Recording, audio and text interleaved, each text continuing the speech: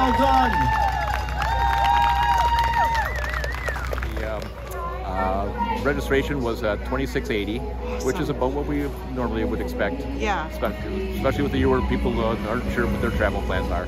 We had a goal that we did not want to cancel again, so we worked with the communities. We did everything that we had to with our medical staff, and we are working overtime to make sure that the runners feel safe and that we are able to hold a live event for the benefit of all runners in Saltfish, Wisconsin, and across the country and across the world. Nice job today, man. Congratulations.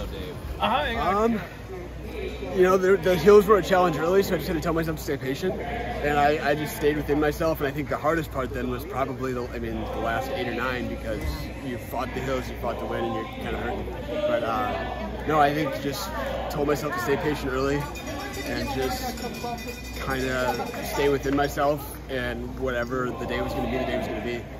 It's evolved over the years, and in 1981, when they first started, it was called the Milwaukee Light Marathon.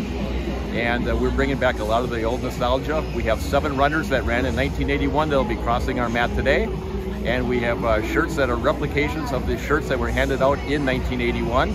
And we are so thrilled to be able to have a little bit of a flashback and know that we're going to be going strong for another 40 years. I think the medals kind of resemble that too, don't they?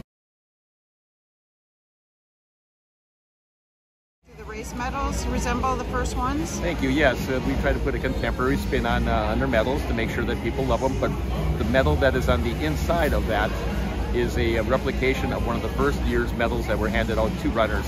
It's only about an inch and a half, but it's uh, something that uh, was about the size of what they would receive. And this year we're, we're very uh, happy to be able to do a uh, special.